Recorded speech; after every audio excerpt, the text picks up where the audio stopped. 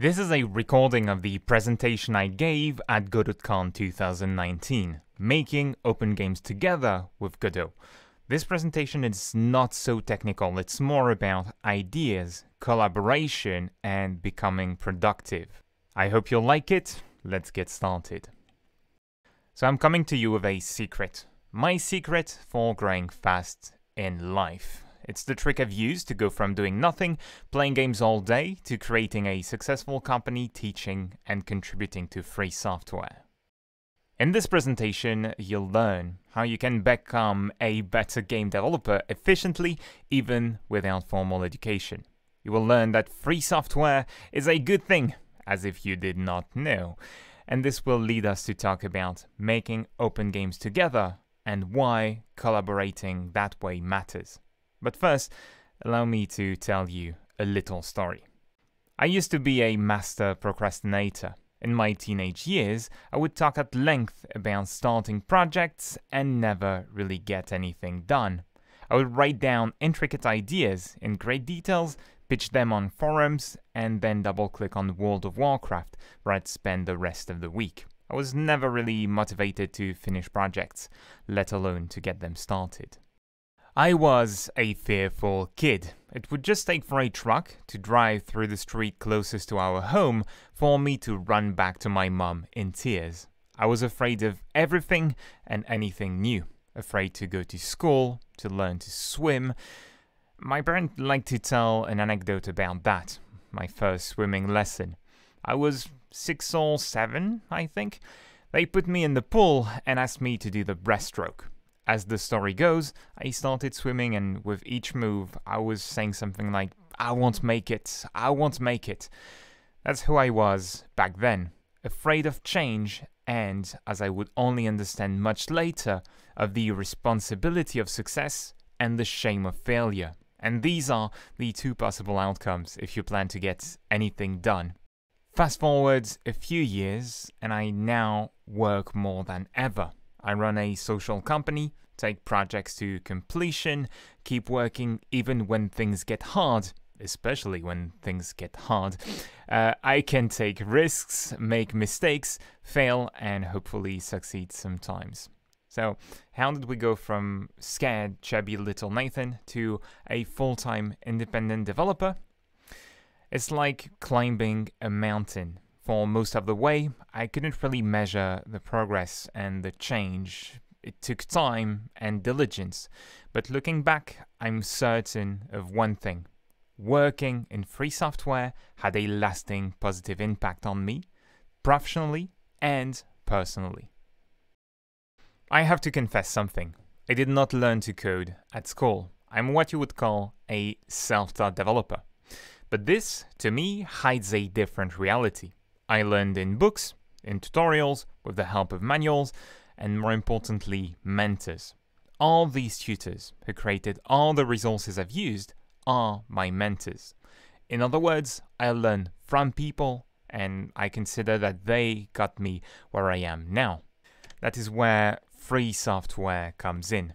The people who taught me the most, my closest mentors, I met contributing to free software. I learned to code and much more thanks to Godot, to projects like Blender, etc.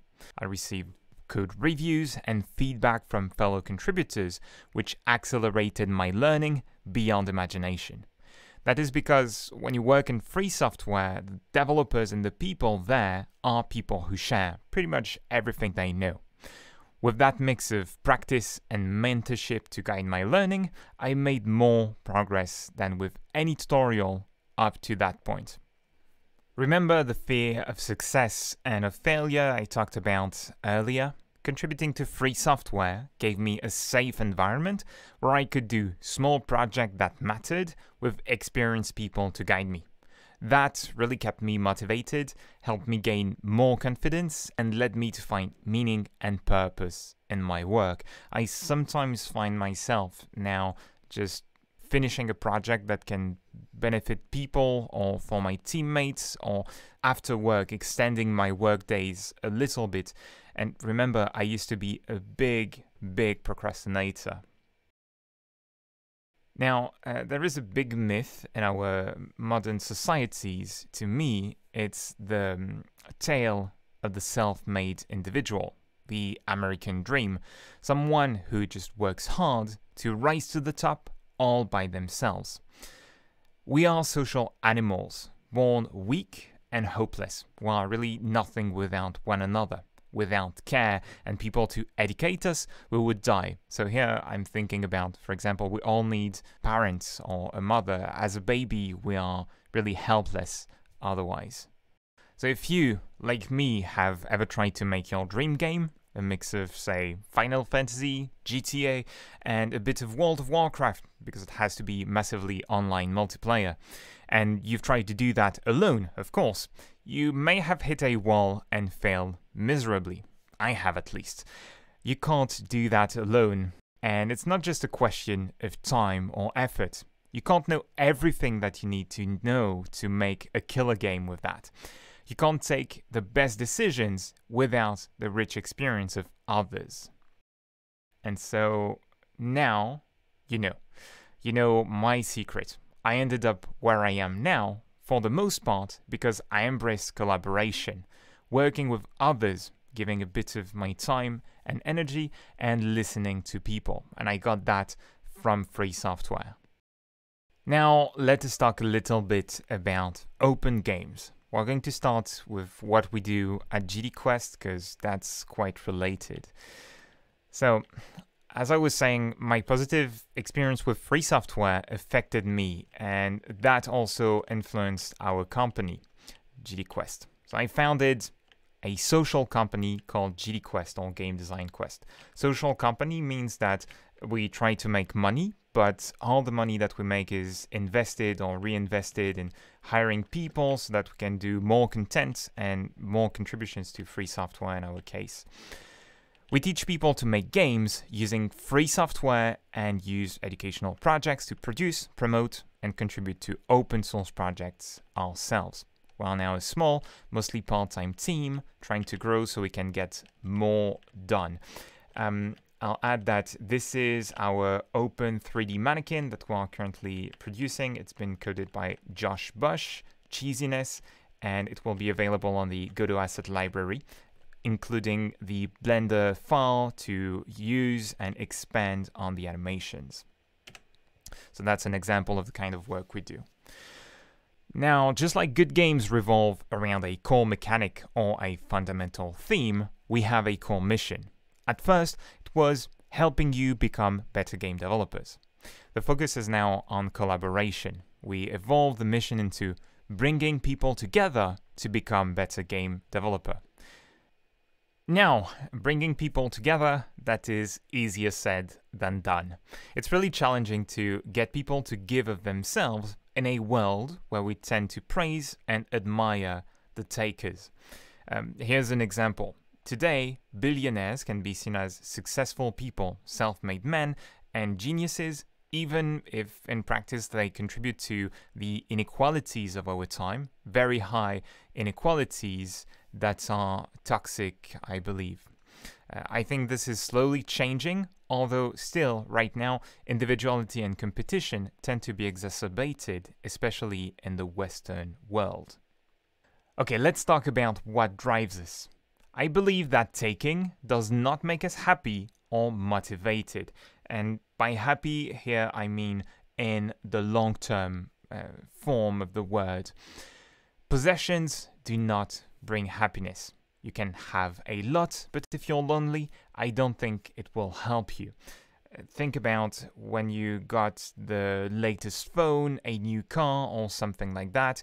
You're pretty excited the moment you get it, and several days later, it's like it's always been there. You lost that feeling. So, now what can drive us uh, more in the long term then? I think that connections are really important. Existing in the eyes and in the mind of someone else, feeling loved or cared for. Then, to me, there is responsibility, having meaning and purpose in our lives, doing things that matter for those who care. And finally, harmony is really important to me, respecting yourself and acting according to your values. The thing that's interesting is that you get all that contributing to free software and more actually. Shared interests can get people started, having a common need or problem to solve. That's what we got with the OpenRPG project, which is a tool to create RPGs, like JRPGs. We have had some success creating projects like these, so we have been 13 direct contributors on OpenRPG, and with entire features like some of the UI you see here written by community members. In the future, we're looking to go one step further to speak to more people, to go beyond just teaching or revolving around Godot itself, so to go beyond technical interests. We want to make open games with everyone, while looking to create projects that open the door to more than just developers. We want to get all sorts of people involved in creating meaningful games and apps together. Lately, with the team at GDQuest, we've been talking about what gets people to care about the work we do and to stick together. And I think that we lack a narrative to get one step further. In general, we human beings need stories that move us to feel connected to a goal or a cause, something that clicks or speaks right to our hearts. Even Godot uses one of these stories to poke at your curiosity. If you go to the official website, the first line you'll see is an intriguing wordplay Godot, the game engine you waited for. So, now what story or narrative could we use to get people working together on games? There's a topic that's dear to me, that we're all concerned by, and that I think has the potential to bring people together. It's ecology. Imagine for a second having people from all around the globe coming together to improve our understanding of complex environmental issues with free and open source games. Does that sound interesting to you? Now, I'm not only thinking about climate change here, but things like pollution, which is the first cause of death in the world today, water access. There are countries that are already under water stress every year here right now. And there's also the way we produce food that takes a lot of land away from people, kills biodiversity, and in general puts us at risk in different regions of the world.